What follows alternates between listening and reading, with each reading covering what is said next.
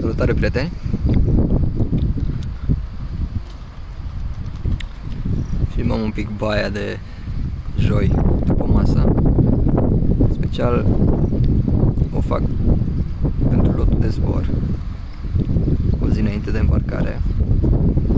Bine, e bine să gândiți un pic și prognoza. Dacă prognoza e de ploaie, poate mai bine nu faci baia.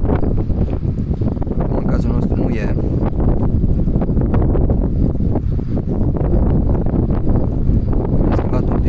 tactica, strategia, zbor doar masculii.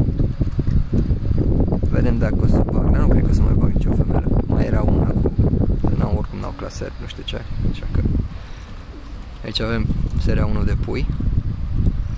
La noi bate un pic mai tare vântul. Ceilalți vedeți, cealaltă temporară, că pleacă în toamnă. Făcut acum recent.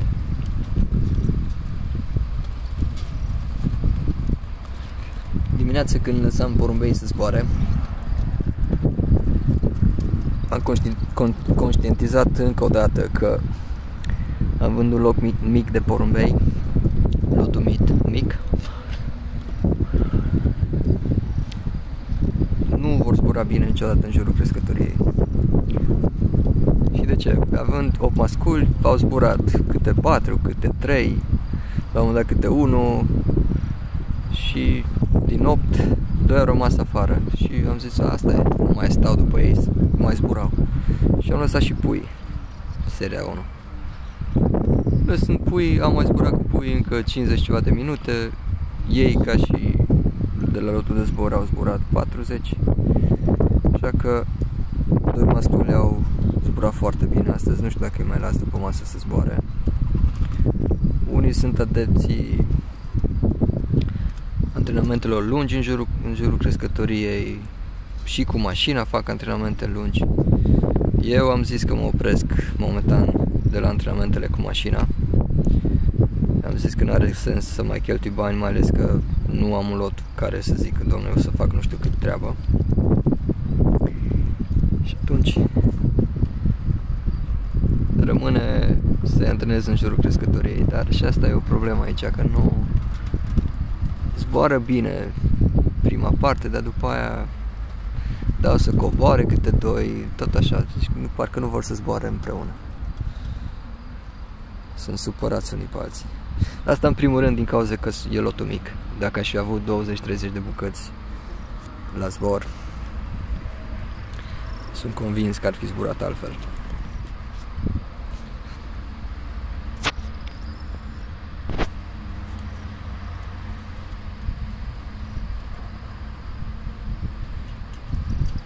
Un pic soare cu nori.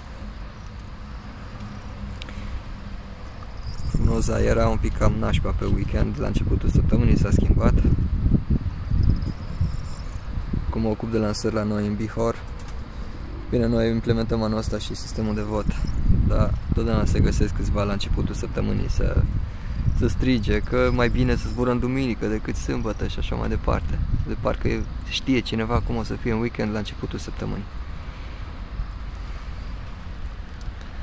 Mai iese și soarele. Așa că de multe ori și în sportul ăsta e bine să ai răbdare, să mai aștepți și să taci, să nu le răspunzi la toți. Nu zic, am avut un sezon, start de sezon nașpa cu multe ploi printre etape și porumbei veni și pe ploi de la etapă. Nu mi-am dorit acest lucru, dar asta a fost situația. Uneori prognoza s-a schimbat de seara spre dimineață.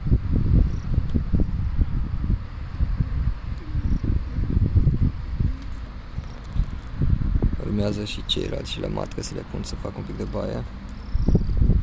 mai las un pic pe masculii de la lotul de zbor să stea în apă.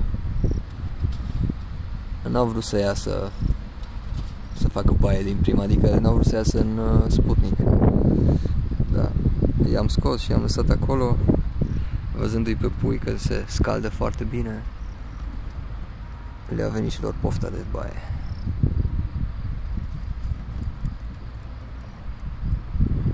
Sunt curios să văd ce va fi etapa asta. e oarecare urcare la mine. Cred că am reușit să clasez un pic mai în față etapa trecută, etapa de 200 de kilometri. Făcusem săptămâna trecută un tratament cu ornitricotab. E și pe respirator, e și tricomonusă deodată. Deși în caietul meu de notițe, de fiecare dată când am făcut eu separat, adică când am tratat și de trico și de respiratorii în aceea săptămână, a fost nașpa. Dar văd că medicamentele concepute de firme care au totuși niște o experiență în spate, cum e Travi Pharma și altele,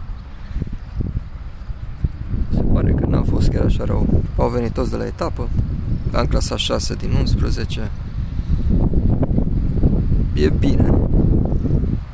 Ne mai distrăm un pic. Eu sper că distracția să vină cu pui aici și de anul viitor. Dacă nu, vorba dinamoviștilor, lăsa să ne pregătim pentru Champions League, așa că nu pregătim fiecare an. Ce o ieși, o ieși. Sper că nu ca și la dinamoviști. Să aveți o zi frumoasă, poate seara vedem când apuc să